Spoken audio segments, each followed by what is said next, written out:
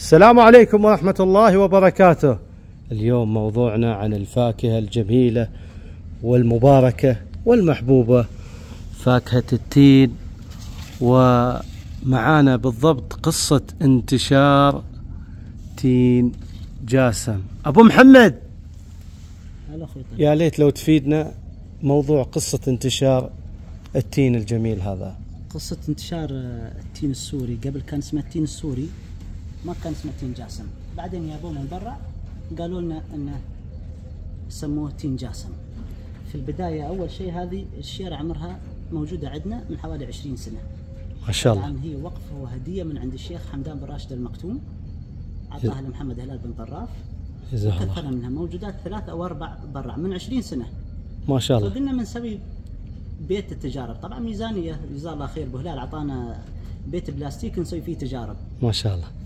فزرعنا كذا نوع تين جبنا من برا من فلسطين من من إيطاليا كل الأنواع اللي نشوفها في المشاتل دي من الصنف الوحيد اللي أعطانا غزارة إنتاج ما شاء الله. وفعلاً غزير هو. وسبحان الله من أربع خمس شيرات عدينا ال 10000 شتلة وزعناها كلهن وقف عن الشيخ حمدان جزاه الله خير زين. في ميزان حسناته إن شاء الله. إن شاء الله. فوزعناها من رأس الخيمة لحدود السلع. ساعدونا الجماعة جزاهم الله خير. أول واحد زرع أتوقع أحمد بن هياي المنصوري.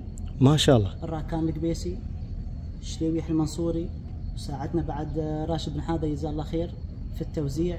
هناك كانت عندهم مهرجانات في فرصة إن نوزع. فنعطيهم يستوي التوزيع من هناك. ما شاء الله. بداية كورونا السيارات اللي تجي من سلطنه عمان تنزل الخضره في الأسواق نحملهم عقل تين نرسلهم لعمان فالكميات كبيرة وزعنا الحمد لله. وبعدين بدينا نوزع حتى على المشاتل. ما شاء الله يعني ساهمتم مساهمة كبيرة في انتشار الصنف.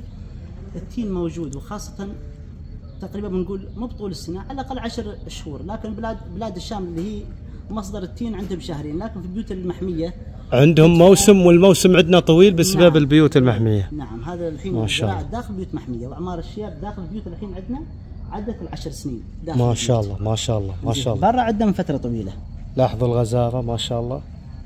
وفعلا الأشجار كبيرة يا أخوان. ما شاء الله مقلمات أبو محمد مرتبات. ما شاء الله شوف ما شاء الله. الجذع ما شاء يعني الله. اعمارهم ما كبيرة. هذه تقريبا 10 سنوات هنا واللي برا بي 20 سنة.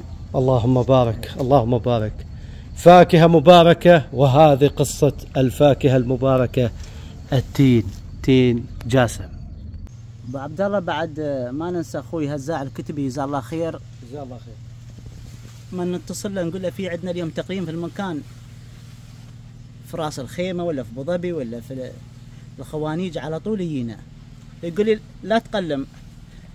أنا حتى تباني أقلم بقلم وبشل ال- العقل وهذا. جزاه الله خير. إحنا نجهز له وهو يشل يتعبل. ويوزع. جزاه الله خير. جزاه الله خير.